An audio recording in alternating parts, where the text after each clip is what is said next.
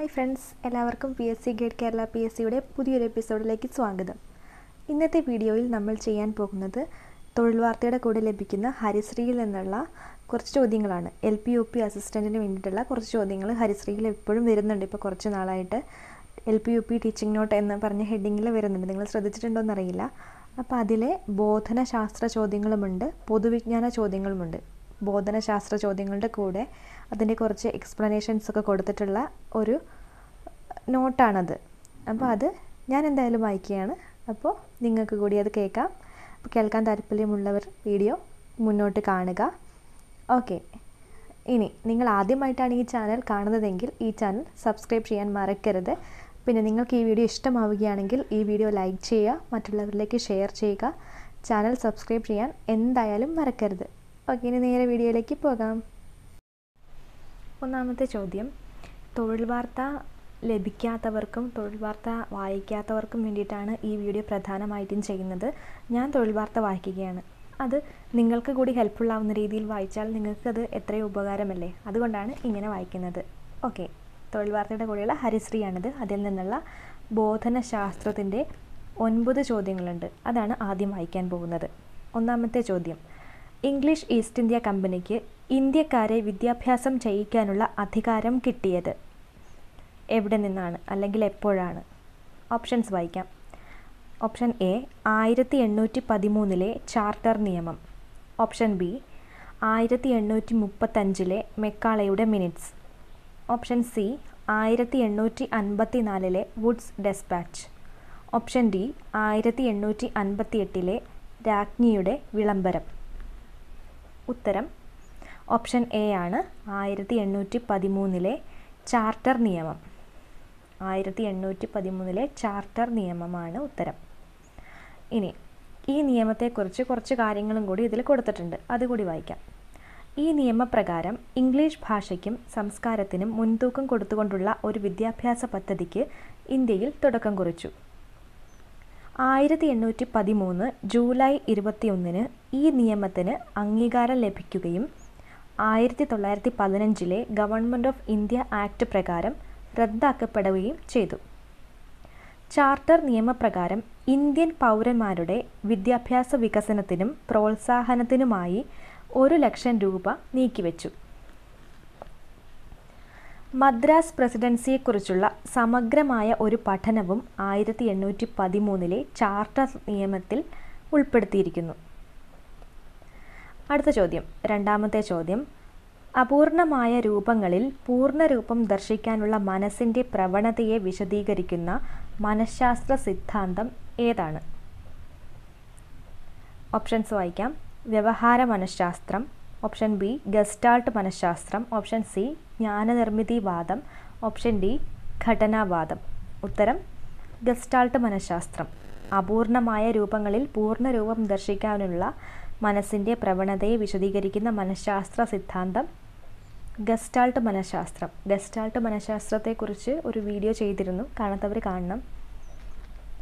Max വെർദീമറാണ് gestalt മനഃശാസ്ത്രത്തിന്റെ ഉപജ്ഞാതാവ്. Max Wertheimer.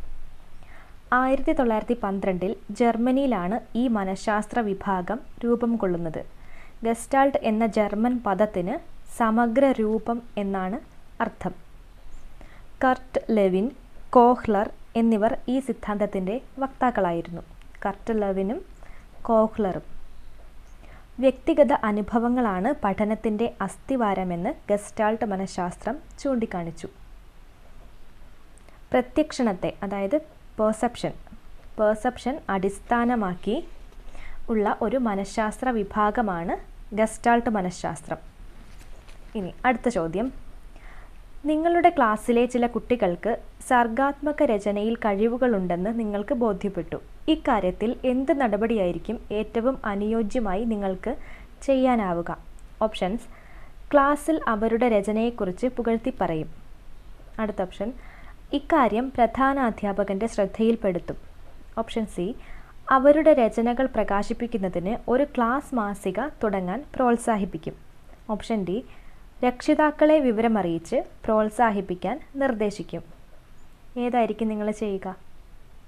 അവരുടെ രചനകൾ പ്രകാശിപ്പിക്കുന്നതിന് ഒരു ക്ലാസ് മാസിക തുടങ്ങാൻ പ്രോത്സാഹിപ്പിക്കും. ഇതാണ് ചെയ്യേണ്ടത്. അടുത്ത ചോദ്യം നൂറുകണക്കിന് ഗുരുക്കന്മാർ ഉണ്ടാകാം. പക്ഷേ നല്ല ശിഷ്യന്മാർ എത്രയോ ചുരുക്കം എന്ന് അഭിപ്രായപ്പെട്ടത് ആരാണ്? ഓപ്ഷൻസ് വായിക്കുന്നില്ല. ഉത്തരം തന്നെ പറയാം. ശ്രീരാമകൃഷ്ണ പരമഹംസൻ. അടുത്ത ചോദ്യം. മനഃശാസ്ത്ര തത്വങ്ങളെ അടിസ്ഥാനപ്പെടുത്തി ബോധനോപകരണങ്ങൾ നിർമ്മിക്കുകയും ഉപയോഗിക്കുകയും ചെയ്യുന്ന രീതിയെ എന്തു പറയുന്നു? മനഃശാസ്ത്ര തത്വങ്ങളെ അടിസ്ഥാനപ്പെടുത്തി ബോധനോപകരണങ്ങൾ നിർമ്മിക്കുകയും ഉപയോഗിക്കുകയും ചെയ്യുന്ന രീതിയാണ് സോഫ്റ്റ്വെയർ സമീപനം. സോഫ്റ്റ്വെയർ സമീപനം. അതാണ് ഉത്തരം. ഓപ്ഷൻസ് ഞാൻ വായിക്കുന്നില്ല. കാരണം തെറ്റി പോകണ്ടെന്ന് ഓർത്തിട്ടാണ് ഓപ്ഷൻസും കൂടി വായിക്കുമ്പം കുറച്ചും കൂടി കൺഫ്യൂസ്ഡ് ആയി പോകും അതുകൊണ്ട്. അടുത്ത ചോദ്യം. വിദ്യാഭ്യാസ സാങ്കേതിക വിദ്യയുടെ രംഗത്ത് നോർമൻ എ ക്രൗഡർ അറിയപ്പെടുന്നത് എങ്ങനെയാണ്? എന്ത് ചെയ്തു എന്നാണ് അറിയപ്പെടുന്നത്? ഓപ്ഷൻസ് വായിക്കാം.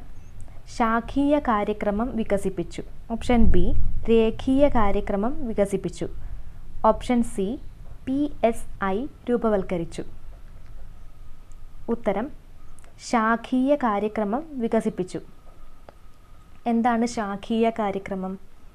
ബ്രാഞ്ചിങ് പ്രോഗ്രാം ശാഖീയ കാര്യക്രമത്തിൽ ബഹുവികൽപ്പ അതായത് മൾട്ടിപ്പിൾ ചോയ്സ് ചോദ്യങ്ങളാണ് ഉൾപ്പെടുത്തിയിരിക്കുന്നത്. ബഹുവികൽപ്പ means multiple choice multiple choice ചോദ്യങ്ങളാണ് ശാഖീയ കാര്യക്രമത്തിൽ ഉൾപ്പെടുത്തിയിരിക്കുന്നത്. വിദ്യാർത്ഥി തെറ്റായ ഉത്തരങ്ങൾ തിരഞ്ഞെടുത്താൽ അയാളെ ശരിയിലേക്ക് നയിക്കുന്ന പരിഹാര ചട്ടങ്ങൾ അതായത് റെമഡിയൽ ഫ്രെയിംസ് ഇതിന്റെ ഒരു സവിശേഷതയാണ്. ശാഖീയ കാര്യക്രമത്തിന്റെ സവിശേഷത. പരിഹാര ബോധനം നൽകുന്ന ഒരു അധ്യാപകനാണ് ശാഖീയ കാര്യക്രമം എന്ന് ക്രൗഡർ അഭിപ്രായപ്പെടുന്നു. രേഖീയ കാര്യക്രമം വികസിപ്പിച്ചതാരാണ്?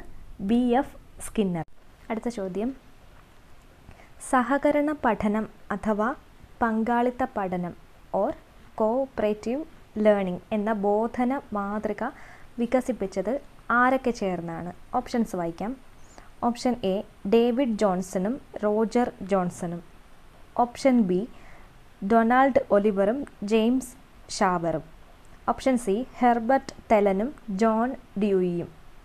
ഓപ്ഷൻ ഡി ഇവരാരുമല്ല. ഉത്തരം ഡേവിഡ് ജോൺസണും റോജർ ജോൺസണുമാണ്. സഹകരണ പഠനം അഥവാ പങ്കാളിത്ത പഠനം എന്ന ബോധന മാതൃക വികസിപ്പിച്ചത് ഡേവിഡ് ജോൺസണും റോജർ ജോൺസണും. ഓർത്തിരിക്കാൻ എളുപ്പമുണ്ട്. രണ്ട് ജോൺസൺമാരാണ്. ഡൊണാൾഡ് ഒലിവറും ജെയിംസ് ഷാവറും ചേർന്നാണ് നൈയാമിക അന്വേഷണ മാതൃക വികസിപ്പിച്ചത്. അത് ഇതിന്റെ കൂടെ അഡീഷണൽ ഇൻഫോ ആയിട്ട് കൊടുത്തിട്ടുണ്ട്. സ്ക്രീനിൽ ഞാൻ കാണിക്കാം. നിങ്ങൾക്ക് വായിക്കാൻ വേണ്ടിയിട്ട്. ഇപ്പോൾ ഇന്നലെ മുഹമ്മദ് ഷാഫി ചോദിച്ചിരുന്നു. അപ്പോൾ ഷാഫി ഇത് കാണുന്നുണ്ടല്ലോ അല്ലേ? ഓക്കെ. ഹെർബർട്ട് തെലനും ജോൺ ഡ്യൂയും ചേർന്നാണ് സംഘാന്വേഷണ മാതൃക രൂപീകരിച്ചത്. അടുത്ത ചോദ്യം. എട്ടാമത്തെ ചോദ്യം. ഡിപ്രഷൻ അനുഭവിക്കുന്ന കുട്ടികളുടെ ലക്ഷണത്തിൽ പെടാത്തത് ഏതാണ്? ഓപ്ഷൻസായി കൊടുത്തിട്ടുള്ളത് ഓപ്ഷൻ എ ഉത്കണ്ഠ. ഓപ്ഷൻ ബി പഠനത്തിലെ പിന്നാക്ക അവസ്ഥ. ഓപ്ഷൻ സി അനാരോഗ്യകരമായ ഭക്ഷണശീലങ്ങൾ. ഓപ്ഷൻ ഡി ആരോഗ്യകരമായ സുഹൃത്ത് ബന്ധങ്ങൾ. ഉത്തരം ഓപ്ഷൻ ഡി ആണ്. ആരോഗ്യകരമായ സുഹൃത്ത് ബന്ധങ്ങൾ. ഈ ചോദ്യത്തിനൊന്നും പിന്നെ എക്സ്പ്ലനേഷന്റെ ആവശ്യമില്ല അഡീഷണൽ ഇൻഫോയുടെ ആവശ്യമില്ല. അതുകൊണ്ട് തന്നെ ഇതിൽ കൊടുത്തിട്ടുമില്ല. ഇമ്പോർട്ടന്റ് ആയിട്ടുള്ള ക്വസ്റ്റ്യൻസിനെല്ലാം തന്നെ ഇതിൽ അഡീഷണൽ ഇൻഫോ കൊടുത്തിട്ടുണ്ട്. അത് നമുക്ക് വളരെയേറെ ഹെൽപ്ഫുള്ളാണ് നിങ്ങൾക്ക് മനസ്സിലായില്ലേ അത് കാണുമ്പോൾ തന്നെ? സ്ക്രീനിൽ കാണുമ്പോൾ മനസ്സിലാകും. ലാസ്റ്റ് ക്വസ്റ്റ്യൻ ഒരു നിർദ്ദിഷ്ട സമൂഹത്തിൽ ഓരോ വ്യക്തിക്കുമുള്ള സ്ഥാനം എന്തെന്ന് സമൂഹാംഗങ്ങളുടെ പ്രതികരണങ്ങളിൽ നിന്ന് നിർണയിക്കുന്ന മാർഗമാണ് എന്ത്? ഉത്തരം സമൂഹാലേഖം. സമൂഹാലേഖം. ഒരു നിർദ്ദിഷ്ട സമൂഹത്തിൽ ഓരോ വ്യക്തിക്കുമുള്ള സ്ഥാനം എന്തെന്ന് സമൂഹ അംഗങ്ങളുടെ പ്രതികരണങ്ങളിൽ നിന്ന് നിർണയിക്കുന്ന മാർഗം. അതാണ് സമൂഹ ആലേഖം അപ്പം ഇത്രയും ചോദ്യങ്ങൾ ബോധനശാസ്ത്രത്തിൽ നിന്ന് കൊടുത്തിട്ടുണ്ട്. ഇനി ഇരുപത്തിയഞ്ച് ചോദ്യങ്ങൾ പൊതുവിജ്ഞാനത്തിൽ നിന്നും ചോദിച്ചിട്ടുണ്ട്. L P U P teaching note എന്ന് പറഞ്ഞു തന്നെയാണ് കൊടുത്തിട്ടുള്ളത്. L P U P teaching note. R Dileep Chandran തയ്യാറാക്കിയ ടീച്ചിങ് നോട്ടാണ്. അത് എന്തുകൊണ്ടും എൽ പി യു പി അസിസ്റ്റന്റിന് പ്രിപ്പയർ ചെയ്യുന്നവർക്ക് വളരെയധികം ഹെൽപ്ഫുള്ളാണ് അപ്പോൾ പൊതുവിജ്ഞാനത്തിലെ ചോദ്യങ്ങൾ ഏതൊക്കെയാണെന്ന് നോക്കാം. ഒന്നാമത്തെ ചോദ്യം. ഡിസ്ചാർജ് ലാമ്പിൽ ക്ലോറിൻ വാതകം നിറച്ചാൽ ഉത്സർജിക്കുന്ന പ്രകാശത്തിന്റെ നിറം എന്താണ്? ഡിസ്ചാർജ് ലാമ്പിൽ ക്ലോറിൻ വാതകം നിറച്ചാൽ ഉത്സർജിക്കുന്ന പ്രകാശത്തിന്റെ നിറം പച്ചയാണ്. ഇനി ഹൈഡ്രജൻ ആണെങ്കിലോ? ഉത്തരം നീല. ഹൈഡ്രജൻ ആണെങ്കിൽ ഉത്സർജിക്കുന്ന പ്രകാശത്തിന്റെ നിറം നീലയായിരിക്കും. സോഡിയം ആണെങ്കിൽ മഞ്ഞയായിരിക്കും. നൈട്രജൻ ആണെങ്കിൽ ചുവപ്പായിരിക്കും. നിയോൺ ആണെങ്കിൽ ഓറഞ്ച് ആയിരിക്കും. അപ്പം ഇത് അഡീഷണൽ ആയിട്ട് കൊടുത്തതാണ്. ക്ലോറിൻ വാതകം നിറച്ചാൽ എന്നുള്ളതാണ് ചോദ്യം. ബാക്കി അഡീഷണൽ ഇൻഫോ ആയിട്ട് കൊടുത്തതാണ്. നോക്കൂ എത്ര ഹെൽപ്ഫുൾ ആണല്ലേ. അടുത്ത ചോദ്യം. ഗ്രീനിച്ച് എന്ന പ്രദേശം ഏത് രാജ്യത്താണ്? ഗ്രീനിച്ച് എന്ന പ്രദേശം ഏത് രാജ്യത്താണ്? ഇത് മിക്കവാറും എല്ലാവരും തെറ്റിക്കുന്ന ചോദ്യമായിരിക്കും. ഗ്രീനിച്ച് എന്ന പ്രദേശം ഇംഗ്ലണ്ടിലാണ്. ഇതിന്റെ കൂടെ അഡീഷണൽ ഇൻഫോ കൊടുത്തിട്ടുണ്ട്. വായിക്കാം. പൂജ്യം ഡിഗ്രി രേഖാംശ രേഖയാണ് ഗ്രീനിച്ച് രേഖ. ഇംഗ്ലണ്ടിലെ റോയൽ ബ്രിട്ടീഷ് വാനനിരീക്ഷണശാല സ്ഥിതി ചെയ്യുന്ന ഗ്രീനിച്ചിലൂടെയാണ് ഇത് കടന്നു പോകുന്നത് ഈ രേഖയെ അടിസ്ഥാനമാക്കിയാണ് ലോകത്തിലെ സമയക്രമം. ഈ രേഖ പ്രൈം മെറീഡിയൻ എന്ന് അറിയപ്പെടുന്നു.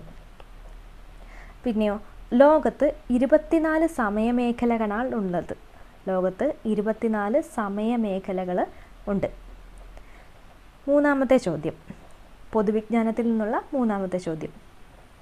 നൂറ്റി പതിനഞ്ച് ഓം പ്രതിരോധമുള്ള ഒരു താപന ഉപകരണത്തിലൂടെ രണ്ട് ആംപിയർ വൈദ്യുതി പ്രവഹിച്ചാൽ ഉപകരണത്തിന്റെ പവർ എത്ര? ഉത്തരം നാനൂറ്റി അറുപത് വാട്ട്. ഇതിന്റെ എക്സ്പ്ലനേഷൻ ഞാൻ സ്ക്രീനിൽ മെൻഷൻ ചെയ്യാം. നിങ്ങൾ ഈ വിഷയത്തിലൊക്കെ എക്സ്പേർട്സ് ആയിരിക്കുമല്ലോ. അപ്പം ഇതൊന്ന് വായിച്ചു നോക്കുക ഇതിങ്ങനെ പറഞ്ഞ് തരേണ്ട കാര്യം നമ്മൾ ചെറിയ ക്ലാസ്സിലൊക്കെ പഠിക്കുന്നതാണ്.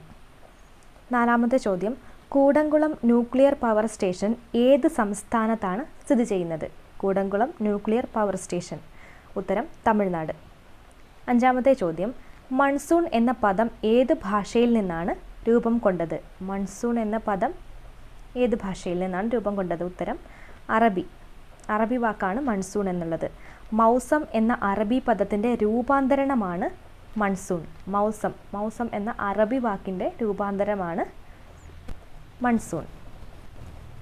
കാലത്തിനൊത്ത് ദിശ മാറുന്ന കാറ്റുകൾ എന്നാണ് മൺസൂൺ എന്ന വാക്കിന്റെ അർത്ഥം.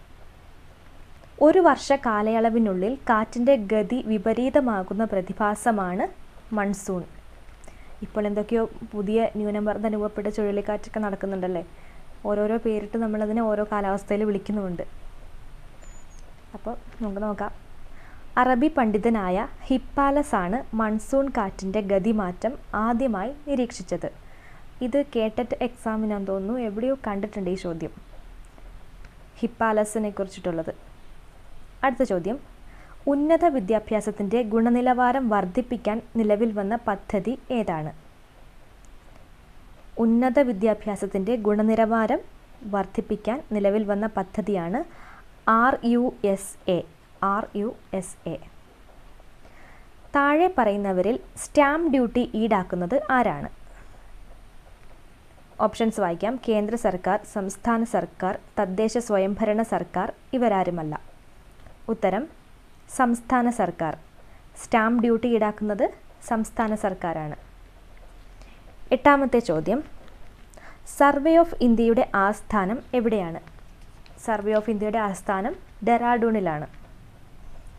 അടുത്ത ചോദ്യം. ഇന്ത്യൻ റീജിയണൽ നാവിഗേഷൻ സാറ്റലൈറ്റ് സിസ്റ്റത്തിൽ എത്ര ഉപഗ്രഹങ്ങളുണ്ട്? ഇന്ത്യൻ റീജിയണൽ നാവിഗേഷൻ സാറ്റലൈറ്റ് സിസ്റ്റത്തിൽ എത്ര ഉപഗ്രഹങ്ങളുണ്ട്? ഉത്തരം ഏഴ്. നെല്ലിന്റെ ക്രോമസോം സംഖ്യ എത്രയാണ്? നെല്ലിന്റെ ക്രോമസോം സംഖ്യ എത്രയാണ്? ഉത്തരം ഇരുപത്തിനാല്. ഗോതമ്പിന്റെയോ? നാൽപ്പത്തിരണ്ട്. ആനയുടെ അമ്പത്തിയാറ് മനുഷ്യന്റെ നാൽപ്പത്തിയാറ്. അടുത്ത ചോദ്യം. ലൈഫ് ഇൻഷുറൻസ് കോർപ്പറേഷൻ സ്ഥാപിതമായ വർഷം life insurance corporation L I C സ്ഥാപിതമായ വർഷം നയന്റീൻ ഫിഫ്റ്റി സിക്സ് ആയിരത്തി തൊള്ളായിരത്തി അൻപത്തി ആറ് പന്ത്രണ്ടാമത്തെ ചോദ്യം ദേശീയ ഉപഭോക്തൃ ദിനം എന്നാണ്. ഉത്തരം ഡിസംബർ ഇരുപത്തിനാല്. അടുത്തത് പതിമൂന്നാമത്തെ ചോദ്യം എസ് സബ്ഷെല്ലിൽ ഉൾക്കൊള്ളാവുന്ന പരമാവധി ഇലക്ട്രോണുകളുടെ എണ്ണം എത്ര? ഉത്തരം പതിനാല്. അടുത്ത ചോദ്യം കലാമിൻ ഏത് ലോഹത്തിന്റെ അയിരാണ്? കലാമിൻ ഏത് ലോകത്തിന്റെയാണ്? ഏത് ലോകത്തിന്റെ അയിരാണ് കലാമിൻ? ഉത്തരം സിങ്ക്. ഓർഗാനിക് സംയുക്തമായ കീറ്റോണുകളുടെ ഫങ്ഷണൽ ഗ്രൂപ്പ് ഏതാണ്? ഓർഗാനിക് സംയുക്തമായ കീറ്റോണുകളുടെ functional group C O. Manganese dioxide ഗ്ലാസിന് ഏത് നിറമാണ് നൽകുന്നത്? ഉത്തരം പർപ്പിൾ നിറം. അടുത്ത ചോദ്യം. ലെൻസ് നിർമ്മിക്കാൻ ഏത് ഗ്ലാസ് ആണ് ഉപയോഗിക്കുന്നത്? ഉത്തരം ഫ്ലിന്റ് ഗ്ലാസ്. ലെൻസ് നിർമ്മിക്കാൻ ഫ്ലിന്റ് ഗ്ലാസ് ആണ് ഉപയോഗിക്കുന്നത്. അടുത്ത ചോദ്യം. കറൻസി രഹിത പണമിടപാടുകൾക്ക് വേണ്ടിയുള്ള toll free help line number എത്രയാണ്? കറൻസി രഹിത പണമിടപാടുകൾക്ക് വേണ്ടിയുള്ള toll free help line number one four four four four. ഒന്ന് നാല് നാല് അല്ലെങ്കിൽ പതിനാലായിരത്തി നാനൂറ്റി നാൽപ്പത്തി നാല് നിങ്ങൾക്ക് ഓർത്ത് വയ്ക്കാൻ എളുപ്പം ഏതാണോ അങ്ങനെ ഓർത്ത് വെച്ചോളൂ കുഴപ്പമില്ല. പത്തൊമ്പതാമത്തെ ചോദ്യം. ഇന്ത്യയിലെ ഏറ്റവും നീളം കൂടിയ പാലമായ ഭൂപ്പൻ ഹസാരിക ഏതൊക്കെ സംസ്ഥാനങ്ങളെയാണ് ബന്ധിപ്പിക്കുന്നത്? ഉത്തരം അസം അരുണാചൽ. ഇന്ത്യയിലെ ഏറ്റവും നീളം കൂടിയ പാലമായ ഭൂപ്പൻ ഹൻസ് ഹസാരിക ഏതൊക്കെ സംസ്ഥാനങ്ങളെയാണ് ബന്ധിപ്പിക്കുന്നത്? അത് അസമും അരുണാചൽ പ്രദേശുമാണ്. ഇരുപതാമത്തെ ചോദ്യം. സോഡിയം പൊട്ടാസ്യം എന്നീ ലോഹങ്ങൾ സൂക്ഷിക്കുന്നത് എവിടെയാണ്? സോഡിയം പൊട്ടാസ്യം എന്നീ ലോഹങ്ങൾ സൂക്ഷിക്കുന്നത് മെഴുകിൽ മനുഷ്യ ശരീരത്തിൽ എത്ര പേശികളുണ്ട്? ഉത്തരം അറുന്നൂറ്റി മുപ്പത്തി ഒൻപത് ഇരുപത്തിരണ്ടാമത്തെ ചോദ്യം. കാൽക്കുലേറ്റർ വികസിപ്പിച്ചത് ആരാണ്? ഉത്തരം പാസ്കൽ. പാസ്കലാണ് കാൽക്കുലേറ്റർ വികസിപ്പിച്ചത്. ഇരുപത്തിമൂന്നാമത്തെ ചോദ്യം. ഖാദർ കമ്മിറ്റി ഏത് മേഖലയുമായി ബന്ധപ്പെട്ടിരിക്കുന്നു? ഖാദർ കമ്മിറ്റി ഏത് മേഖലയുമായി ബന്ധപ്പെട്ടിരിക്കുന്നു? അത് L P U P assistant അല്ലെങ്കിൽ കേട്ടറ്റ് എഴുതുന്ന ഒരാളോട് ചോദിക്കേണ്ട ആവശ്യമേ ഇല്ല അവർ പറയും അല്ലേ? ഖാദർ കമ്മിറ്റി വിദ്യാഭ്യാസവുമായി ബന്ധപ്പെട്ടിരിക്കുന്നു. അടുത്ത ചോദ്യം. സർഗസംഗീതം ആരുടെ കവിതയാണ്? ഉത്തരം വയലാർ രാമവർമ്മ. സർഗസംഗീതം വയലാർ രാമവർമ്മയുടെ കവിതയാണ്. അവസാനത്തെ ചോദ്യമാണ്. ഏത് രാജ്യമാണ് കോടതിയിൽ മൂന്നാം ഭാഷയായി ഹിന്ദി ഉൾപ്പെടുത്തിയത്? ഏത് രാജ്യം? ഉത്തരം അബുദാബി. അപ്പോൾ ഇത്രയും ചോദ്യങ്ങൾ തൊഴിൽ വാർത്തയിൽ L P U P assistant തൊഴിൽ വാർത്തയുടെ കൂടെയുള്ള ഹരിശ്രീയിൽ L P U P assistant പരീക്ഷകൾക്ക് പ്രിപ്പയർ ചെയ്യുന്നവർക്ക് വേണ്ടി കൊടുത്തിട്ടുണ്ട്. ഇത് വളരെ ഹെൽപ്ഫുൾ അല്ലേ നമുക്ക്? അല്ലേ? ആണ് വളരെ ഹെൽപ്ഫുള്ളാണ് വായിക്കുന്നവർക്ക് ഇത് ഉപകാരമാണ്. ഇതൊക്കെ നോട്ട് ചെയ്ത് വെച്ച് ഇതിനകത്തുള്ള ഡീറ്റെയിൽസ് ഒക്കെ എഴുതി നോട്ട്സ് പ്രിപ്പയർ ചെയ്താൽ ഒന്നും കൂടി ഹെൽപ്ഫുൾ ആയിരിക്കും. അപ്പോൾ ഈ വീഡിയോ എല്ലാവർക്കും ഇഷ്ടമായെന്ന് കരുതുന്നു. ഇഷ്ടമായെങ്കിൽ ഈ വീഡിയോ ലൈക്ക് ചെയ്യുക ഷെയർ ചെയ്യുക.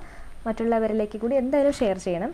പിന്നെ സബ്സ്ക്രൈബ് ചെയ്യാൻ നിങ്ങൾ ഒരിക്കലും മറക്കരുത്. ഈ ചാനൽ സബ്സ്ക്രൈബ് ചെയ്യുക. ഇനിയും ഇതുപോലെ ഇൻട്രസ്റ്റിംഗ് വീഡിയോസ് വരുന്നതായിരിക്കും. ഓക്കെ ഇനി അടുത്ത വീഡിയോയിലേക്ക് കൂടി കാണാം. താങ്ക്